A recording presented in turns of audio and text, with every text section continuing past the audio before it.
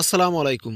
আমাদের আজকের ভিডিওতে আমরা দেখব আপনি কীভাবে খুব সহজেই মোবাইল দিয়ে আপনার ফেসবুক পেজে ভিডিও আপলোড করবেন।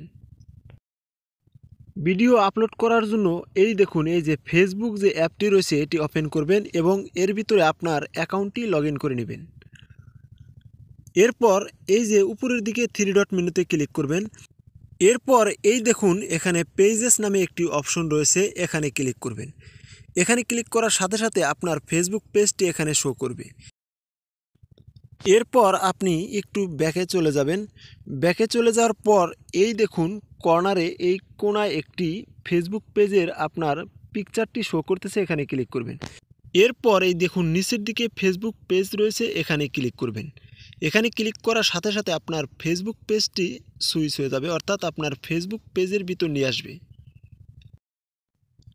পেজের ভিতরে প্রবেশ করার পর আপনি একটু উপরের দিকে চলে যাবেন এবং এই যে এখানে ক্লিক করে দিবেন। এরপর আপনি কোন ধরনের ভিডিও আপনি আপলোড করবেন তার টাইটেল এখানে লিখে দেবেন। টাইটেল দেওয়া হয়ে গেলে আপনি এই যে এখানে ক্লিক করে দিবেন। এরপর আপনার ফাইল ম্যানেজার থেকে আপনার কাঙ্ক্ষিত ভিডিওটি সিলেক্ট করে দিবেন। ভিডিওটি সিলেক্ট করার পর এই দেখুন, উপরের দিকে একটি অপশন রয়েছে, পোস্ট নামে একটি অপশন, এখানে ক্লিক করে দিবেন। এখানে ক্লিক করার সাথে সাথে আপনার ভিডিওটি আপলোড হতে শুরু করবে।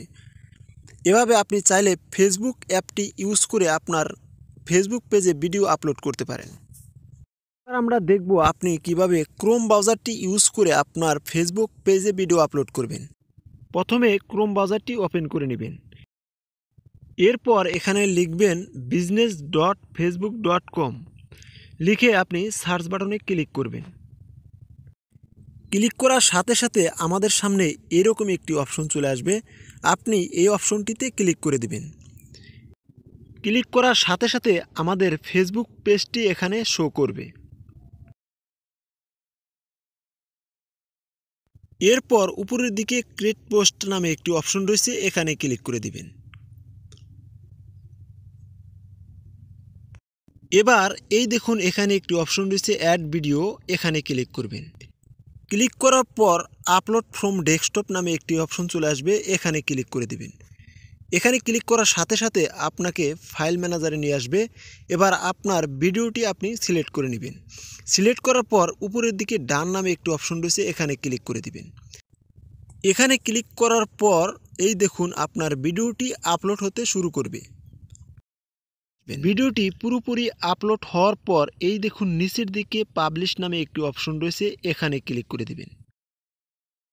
এরপর আপনি ক্রিয়েটর স্টুডিওতে চলে আসবেন। ক্রিয়েটর স্টুডিওটি ওপেন করার পর এই দেখুন আপনার ভিডিওটি এখানে পাবলিশড হয়ে গেছে। এবার আপনি এই যে থ্রি ডট মেনু নামে একটি অপশন রয়েছে, এখানে ক্লিক করে দিবেন। এখানে ক্লিক করার পর এডিট পোস্ট নামে একটি অপশন রয়েছে, এখানে ক্লিক করবেন। এরপর আপনি এখানে ভিডিওর টাইটেল দিবেন। এবং নিচের দিকে ভিডিওর একটি ডেসক্রিপশন দিয়ে দেবেন।